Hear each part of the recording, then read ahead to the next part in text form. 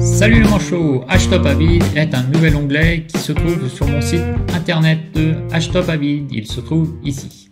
Vous pourrez le consulter régulièrement car je le mettrai à jour en fonction des distributions que j'aurai testées. Alors à quoi correspond exactement ce tableau? Eh bien c'est très simple. Hop là, nous allons aller consulter le tableau que je prépare ici, que je mettrai à jour sur mon site.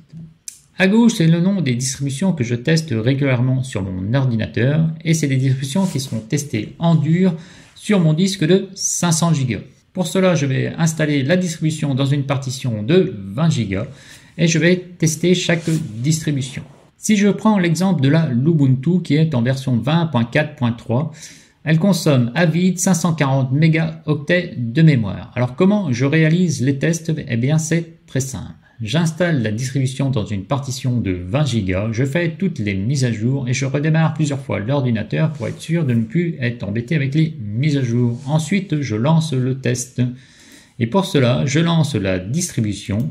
Et la première chose que je réalise, c'est la consommation mémoire à vide de la distribution, comme vous le voyez sur la capture d'écran suivante. Si je prends un exemple de la Ubuntu 21.10, elle consomme 940 mégaoctets à vide au bout de 3 minutes. Donc je laisse la distribution tranquille pendant 3 minutes et je ne touche à rien sur l'ordinateur. Et on le voit, la consommation mémoire à vide est de 940 mégaoctets. Ensuite, je lance le test du logiciel Kdenlive. Pour cela, je lance un rendu avec le logiciel AppImage de Kdenlive qui se trouve ici. Hop là Alors sur chaque distribution, j'aurais bien sûr préparé le montage avant. Donc le fichier, je n'aurai plus qu'à cliquer sur récemment ouvert le load average.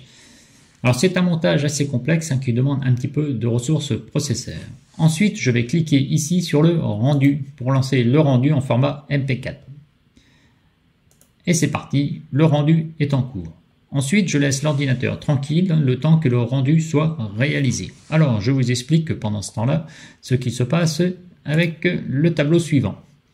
Donc, la mémoire vide, c'est un relevé pour chaque distribution au bout de 3 minutes. Et comme on peut le voir, hein, c'est la Lubuntu qui tient toujours le meilleur résultat, hein, qui consomme à vide, par exemple ici avec la Lubuntu 21.10, 0,56 mégaoctets de mémoire. Ensuite, le montage vidéo que je viens de lancer, que le logiciel Kdenlive actuellement par exemple, c'est toujours la Lubuntu qui obtient le meilleur résultat. Plus rapide avec 4 minutes 41 secondes avec que le logiciel Kdenlive en fonction. Et on peut le voir aussi que Windows 10 hein, réalise un montage vidéo avec que le logiciel Kdenlive en fonction en 4 minutes 41 secondes. Hein. C'est le même temps pour Windows et l'Ubuntu. Ensuite, je vais réaliser une autre test une fois que le montage vidéo de Kdenlive sera réalisé. Je vais lancer un test avec le logiciel VocoScream en arrière-plan. C'est ce qui se passe actuellement. Hein. J'ai le logiciel VocoScream qui enregistre la vidéo. Donc je lance le logiciel VocoScream dans la foulée et ensuite je relance un deuxième montage vidéo avec le logiciel Kdenlive. Et comme vous pouvez le voir ici, hein, j'ai deux versions qui sont en rouge. Hein. c'est la Lubuntu qui se trouve ici et la Lubuntu aussi en version LTS qui se trouve ici. Si je lance le logiciel VocoScream en arrière-plan et que je lance un rendu vidéo de Kdenlive, le rendu vidéo sera réalisé en 8 minutes et 43 secondes, ce qui était énorme. Hein. La meilleure distribution pour réaliser le montage vidéo avec le logiciel VocoScream en arrière-plan, hein, ça sera la distribution Ubuntu Budgie que j'ai classée en vert ici. Elle réalise le montage vidéo en 5 minutes et 27 secondes. Donc c'est le meilleur temps qui est réalisé par la Ubuntu Budgie actuellement. Alors ce sont des valeurs que je relève hein, et nous verrons si nous pouvons ensuite classer des distributions en fonction de ces valeurs. Ensuite nous avons une charge à 15 minutes. À quoi correspond exactement la charge à 15 minutes? Eh bien, pour cela, je vais utiliser bien sûr toujours le logiciel HTOP. Et nous avons une charge à 15 minutes qui se trouve sur la droite. C'est une moyenne. La moyenne, par exemple, ici est à 10.50. C'est le load average. Donc la troisième valeur, hein, c'est une valeur qui est une moyenne de 15 minutes de fonctionnement. Donc je vais relever cette valeur hein, et je vais voir si cela peut être intéressant de noter ces valeurs hein, pour faire un classement des distributions et c'est la valeur qui se trouvera ici.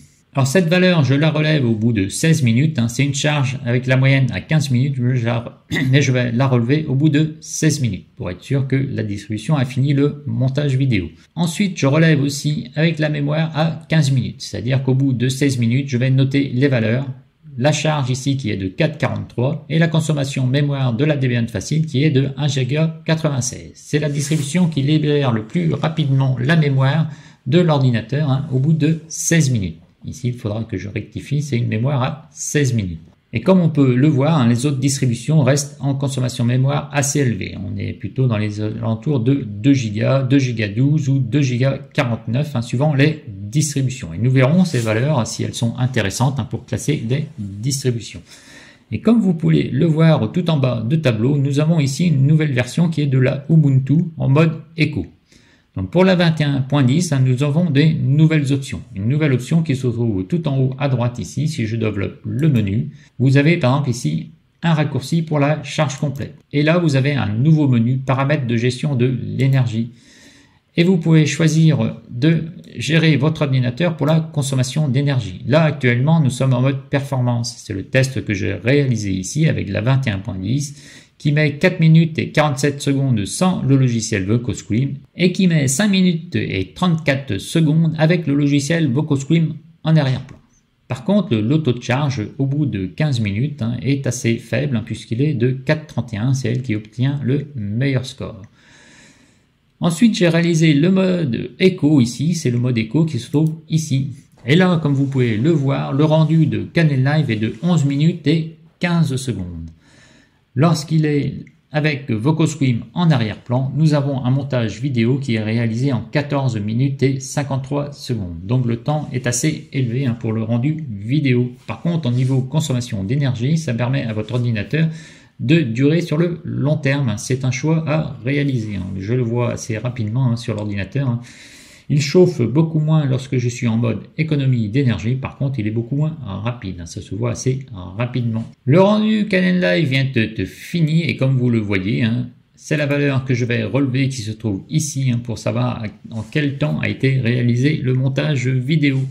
Là, on le voit, je l'ai mis de temps en temps en mode économie d'énergie, donc le, temps de réalisation du montage était un petit peu plus long. On a mis 6 minutes et 42 secondes à réaliser le montage. Alors ce timing est assez précis, hein. donc le timing qui se trouve ici est très précis au niveau de Caden Live. Donc nous verrons ensemble si ces valeurs sont intéressantes hein, pour classer les différentes distributions. Une chose est sûre, c'est que la consommation de la mémoire à vide qui se trouve sur la gauche vous permet de classer un petit peu les distributions en fonction des performances et vous pourrez adapter donc une distribution en fonction de votre ordinateur.